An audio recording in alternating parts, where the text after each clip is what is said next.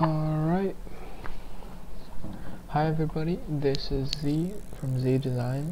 Uh, welcome to my channel. This is my first video. Uh, I just want to show how you can create uh, this kind of flowing and uh, art directable ribbon or um, well, whatever you call it. It's kind of like a flow ribbon thing uh, that you can create with very uh, very little setup and it can be very art directable. And uh, yeah let's let's see how I created this. So uh, I'm using Cinema 4D R21 with Octane and um, my scene setup is pretty clear. This is uh, just a uh, very easy uh, cube. Uh, I give it some fillet and also give it a bunch of sub-segments and then yes I have subdivision surface on just so I, I can have a smoother look to it. And uh, don't worry about the volume builder and measure um, we'll talk about it soon. Uh, yeah let's see how I set this up. Alright so what you want to do is first um, actually draw a curve that you want it to that you want your uh, flow to be. So I'm just gonna keep it uh, very simple and uh, somewhat like the one I did in the example. Mm.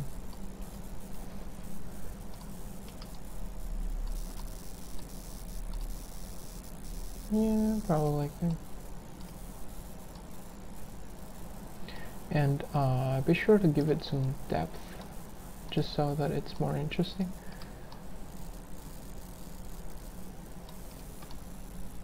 And uh, keep an eye on your uh, camera angle just so you can uh, control the full shape you have.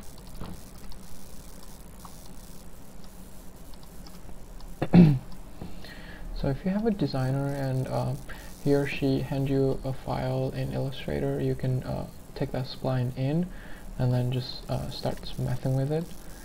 But if you want to create it by yourself, then um, well, just do whatever you want.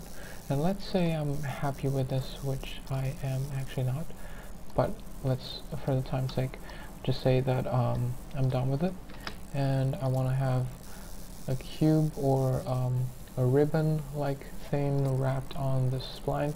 Uh, I'll first need, let's say, a cube. Uh, adjust the height or whatever. Actually, let me put it this way, and then try to have a very thin ribbon and have um, yeah about that thick. That's too thin actually. 250 mm, looks okay. And then the thickness would be you know 5 sounds reasonable. Uh, I will oh not give it fillet this time uh, so what you want to do is, oops, very simple, just uh, have a spline wrap, and if you hold shift while you uh, lose your mouth, then it would just be uh, as a child of the object that you selected.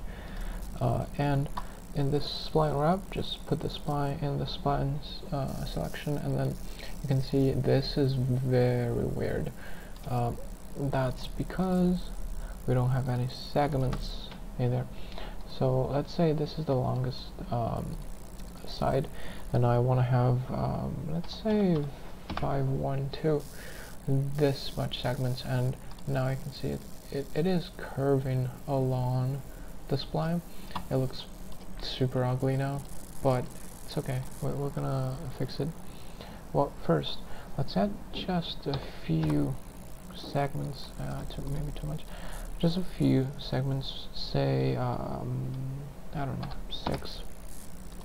Yep, okay. And give it a fillet. And uh, you know what? This way too thick for my taste. Alright, that's it. Uh, I actually want to have more segments, so I'm just gonna keep it the highest you can get, which is a thousand, and you cannot go higher than that. 740 won't allow it and let's say this is what we want now oh um, and one more thing. If you have it very weird it's probably because of the axis as well.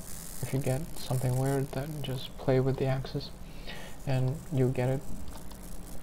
Uh, basically what we are now is a good starting place. We can have um, manipulation on it in basically two ways you can have it in the spline wrap. Uh, see here in the object tab you have rotation and size. And if you play with that you can see that is pretty beautiful curve manipulation right there. And this is very elegant and all but it's not as um, clear as what I'm going to show you. So um, the strength of this method is that uh, you don't have well uh, the some typical points is that you don't have a very visual way of um, say if you want to want it to be uh, very thin and rotate just right here at the corner you kind of have to guess where it is right? So that's not really responsible. That's not I mean sorry that's not really um, a an efficient way to do this let, let me just reset it. Oops. Alright so the second way I'm gonna show you is just use Cinema 4D's built-in um, deformers. You can have let's say a twist or bulge uh, to make it bigger or smaller or to twist it. These two are the uh, most frequent thing that I use. So if you have a bulge uh, deformer first change the size let's say 500 and actually uh, be, be sure that this whatever deformer you have is above the spline wrap so that what, uh, what it means is that it will make it will deform the object first. Well actually let me just put it into the right position and change the size so that uh, you don't get confused yep and so this just means that you're gonna have to uh, manipulate or deform the object first and then wrap this along the spline. And you can see this is the part where we deform our objects. And this is fine but if you have it below the spline wrap then weird shit's gonna happen like this. So basically why this is happening is because you are uh, wrapping this spline uh, wrapping this object to the spline first and then applying a bulge here. So that's not what we want. See? It's weird. So uh, just be sure that your uh, whatever you want to do to the object do it before it was wrapped. Um, alright so here we can basically start to build this uh, object or shape it uh, however we want. And just keep in mind sometimes you're gonna bump into this. There are several ways we can fix it. First um, if it's okay just shrink the size. If you shrink it enough this won't be a problem. But if you can't shrink the size then I would suggest you uh, let's say if this is um, we had before and this is definitely gonna show in the render. And what we can do is that put this inside a volume builder and then a volume mesher and yes the, uh, depending on the voxel size you're gonna have this kind of stuff showing around. Don't worry uh, just change the voxel size to a smaller number and uh, be sure to do it uh, with care because it can mess up your computer. Uh, because it requires yeah you see it requires a lot of computational um, strength or power. So um, if you have a good computer then congrats. If you don't then well, just do it carefully. You'll be fine. And have a smooth uh, I, I, don't know what they call it just basically add a smooth layer and uh, give it a bunch of smooth iterations. It will smooth out in the end just like that.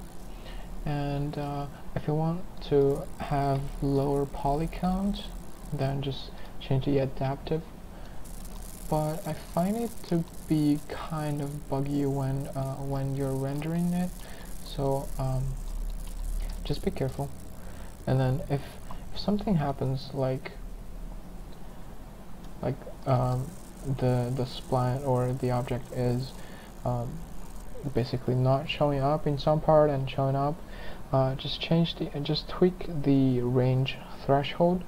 Um, this is basically uh, giving it a thicker outline so that you can have more uh, shown in the actual render or uh, on the geometry.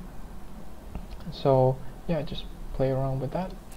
And yeah if you if you will like you can add more twist or bulge or whatever you want. I'm just gonna fast pass this.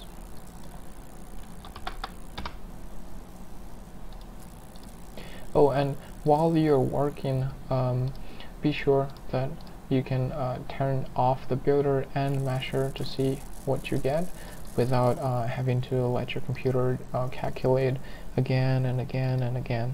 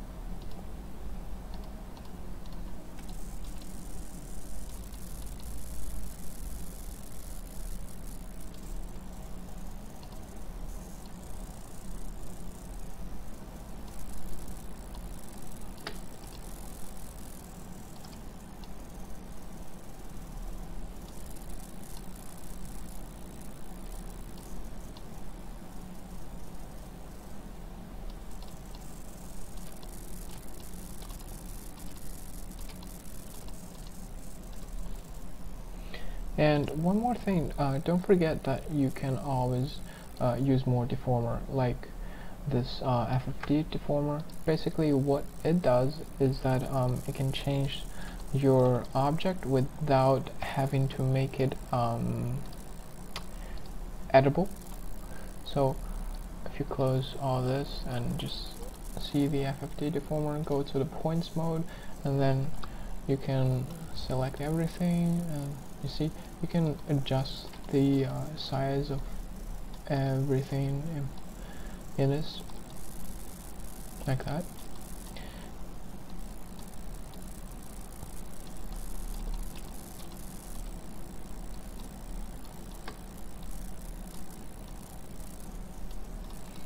And then if you turn everything back on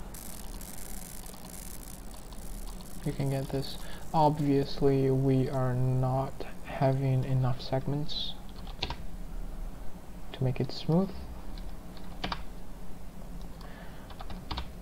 Yeah maybe a lot but maybe that's too much. And with this uh, geometry setup you can have it to render and then give it a, um, a sky. And I'm using the HDRI link from Greyscalegorilla, but you don't have to do that. You can uh, just uh, type in whatever texture you want to put in as HDRI, or just use light yourself and just light the scene. And yeah, that's basically the uh, the approach that I took to make the render from this project and yeah um, I hope you like it. I hope you learned something. Um, in uh, in this project though I chose to go with the uh, with twisting or bulging the object from within spline wrap itself. And if you want I can upload the project file just so that you can take a look and see what I did. Uh, uh, but I will go through it here.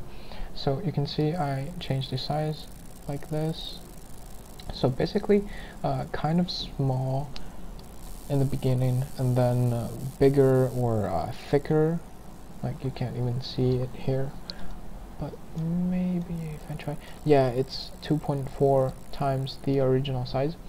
And then um, smaller at the end again and then I have a spline size which is going from 0 to all the way up and then to 0 so uh, be careful spline size and size is actually different and it can add a lot onto it. So um, at this in the size section I have it set at uh, probably 1 but I have the spline size set to 0 so that is why I'm having this extremely tiny point as a start. And also for rotation you have spline rotation and just rotation itself. And also you have up vector. Uh, if you know what that is it's basically like the uh, rail section inside the spline wrap. It basically um, tells the computer where you want this object to be facing. And uh, yeah I think that this is it um, hope you like it. Hope you learned something. If you like it um, feel free to uh, like hit the like button and subscribe for more videos if you want. And yeah thanks for seeing. Bye. This is Z from Z Design. Thank you